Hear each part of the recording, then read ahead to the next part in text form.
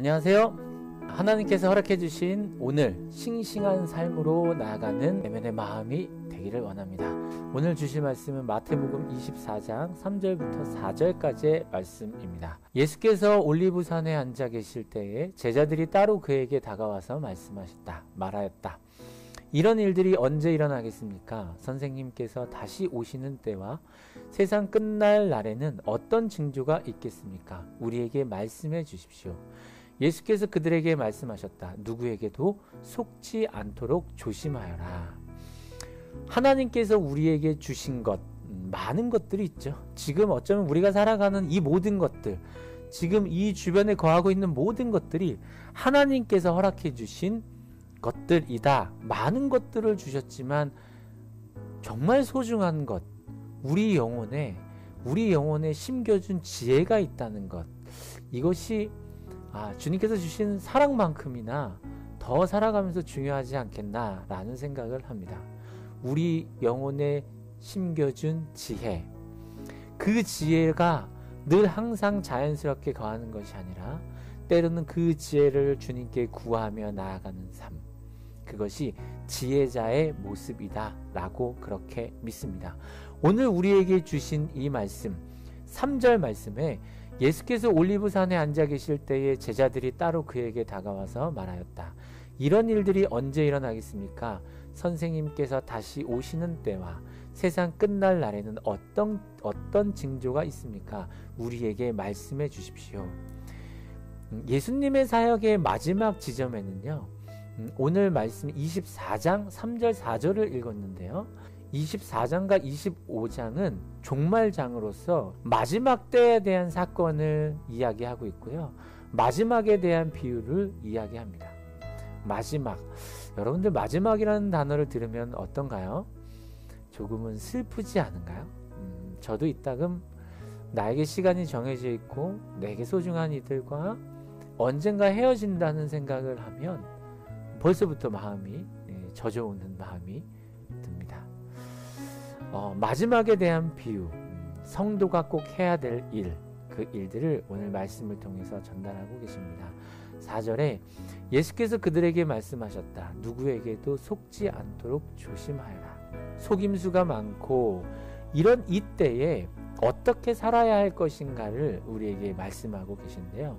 우리가 마라톤을 하고 있다라고 생각했을 때 어떤 지점에 와 있는지는 알 수 없죠. 하나님의 시간, 42.195km 마라톤의 지점이라고 한다면 지금 내가 2km 지점에 왔는지 5km 지점에 왔는지 20km 지점에 왔는지 알 수 없습니다. 다만 어느 지점에 와 있겠다라고 예측하고 살아갈 뿐이죠. 오늘 말씀에 마지막 때의 마지막 지점 그 지점을 향해 달려가는 우리의 삶 속에 두 가지 교훈을 우리에게 허락해 주고 계신데요. 첫 번째가 바로 속지 마라입니다. 두 번째가 시험에 들지 말아라. 속지 말고 시험에 들지 말아라. 잘 분별하고 마음이 미혹돼서 시험에 들지 말아라. 즉, 첫 번째와 두 번째를 섞어서 말씀드리면 잘 분별하고 마음이 미혹돼서 시험에 들지 말아라.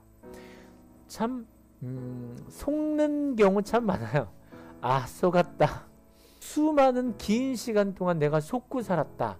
라고 한다면 그 배신감은 요즘 시대에 어떠한가요? 제가 어제 많이 본 뉴스를 이제 순위표들을 이렇게 쭉 보니까요. 아, 여러분들 깜짝 놀랄 만한 내용들이 많이 있었어요. 살인 사건서부터 해서 정말 이루 말로 표현할 수 없을 만큼의 이 내용을 보면서 어, 안 좋은 마음들이 절로 또 뉴스 기사의 내용을 가지고 지인들과 많은 이야기를 나누곤 합니다. 교회라는 단어는 어떨까요? 교회라는 단어를 쳐보니까 최근 들어 교회가 하고 있는 일, 어떤 교회에서, 어떤 공동체에서 이런 일을 하였습니다. 이런 일을 통해서 이렇게 되었고, 많은 사람들이 살 수 있었습니다. 에 대한 내용보다는 음, 코로나와 관련된 네, 또한 그것으로 인해 음, 잘못된 여러 가지 일들이 언급되어졌음을 이렇게 볼 수 있죠. 교회의 역할, 어쩌면 그것은 저의 책임일 수 있다. 나의 책임일 수 있다. 라는 마음도 찾아옵니다. 다시 말씀으로 돌아가서 3절과 4절 이후에 어떤 징조가 나타나게 되어지는데 이런 일들이 일어나게 될 것이다. 각종 피해들이 일어나고 아픈 일들이 일어날 것이다. 이것들로 인해서 속지 말아라. 누구에게도 속지 않도록 조심하라. 라고 얘기합니다. 속지 않도록 하라. 여러분, 이 세상의 소리에 속지 않는 여러분들이 되기를 바랍니다. 주변에 또 부정적인 이야기들로 내 생각과 마음들을 사로잡게 하는 이들이 있죠. 저도 그런 말들에 의해서 흔들리기도 하고 때때로는 제 자신이 그렇게 흔들리게 만드는 존재가 되기도 할 때가 있습니다. 누구에게도 속지 않도록 조심하라. 우리가 준비해야 될 것 두 가지 있는데요. 첫 번째는 준비를 잘 하는 것입니다. 어떻게 준비하며 살아갈까요? 여러분 준비를 잘 하십시오. 어떻게요? 말씀을 잘 아는 것입니다. 말씀 안에서 그 길을 찾아가는 것입니다. 참된 길을 배울 수 있는 준비된 마음이 우리에게 지금 이 시대를 살아가는 우리에게 꼭 필요할 것입니다. 우리가 꼭 알아야 될 것, 우리 진리를 알아야 합니다. 그 진리, 참을 알아야 구별할 수 있는 기준을 우리가 스스로 우리 내면 안에 예수 그리스도의 그 기준점을 말씀 안에서 찾을 수 있습니다. 말씀 가운데 삶의 기준을 세우고 그 삶의 기준 안에서 삶의 주권이 세워지는 삶, 그 삶의 주권이 하나님의 중심이 되어서 내 삶의 기준을 세우고 살아가는 삶. 우리는 준비하는 삶을 살아야 합니다. 속지 말고 시험에 들지 마십시오. 아, 참으로 시험에 들 일이 많은 이 세상에서 말씀의 기준이 되면 그 주권을 붙들면 속지 않을 수 있습니다. 오늘도 주님 안에 거하며 그 주권을 붙들며 준비하는 삶이 되시기를 바랍니다. 함께 기도드리겠습니다. 사랑의 하나님, 오늘도 하나님의 말씀을 의지하며 살아갑니다.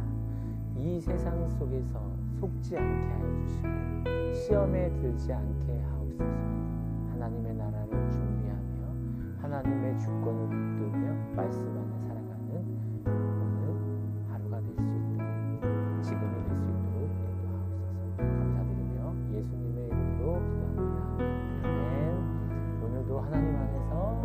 싱싱한 삶으로 믿음 안에 변화되는 삶이 되시기를 바랍니다.